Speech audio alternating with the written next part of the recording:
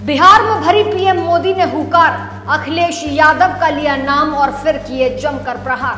PM Modi ने कहा कि इंडिया गठबंधन ज़्यादा दिन नहीं टिकेगा। इंडिया गठबंधन की आँखों में मोदी खटकता है, लेकिन यही मोदी लोगों के दिलों में बसता है, लोगों की जुबानों पर रहता है। पीएम मोदी ने विपक्ष पर बिहार में पहुंचकर जमकर निशाना साधा। क्या कुछ बोले अखिलेश यादव को लेकर पीएम मोदी? क्या कुछ बोले इंडिया गठबंधन को लेकर पीएम मोदी? चलिए हम आपको बताते हैं इस वीडियो में। बिहार में पीएम मोदी ने क्यों लिया अखिलेश यादव का नाम? पीएम मोदी ने इंडिया गठबंधन को लेकर ऐसा क्या कहा, जो अब आया चर्चाओं में? पीएम मोदी ने बिहार से इंडिया गठबंधन पर जमकर हमला बोला। पीएम ने कहा कि अपनी मनमानी से, आपकी इच्छा से अब देश नहीं चलेगा।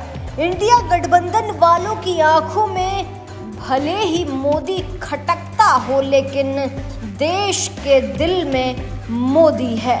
पीएम मोदी का ये कहना अब चर्चा का विषय बना हुआ है। बता दें कि प्रधानमंत्री नरेंद्र मोदी लोकसभा चुनाव के लिए बिहार के पूर्वी चंपारण में प्रचार करने पहुँचे। इस दौरान पीएम मोदी ने कांग्रेस नेता राहुल गांधी और राजद नेता तेजस्वी यादव पर जमकर निशाना साधा। इतना ही नहीं, पीएम मोदी ने अखिलेश यादव के वाराणसी वाले बयान का भी ज़िक्र कर दिया।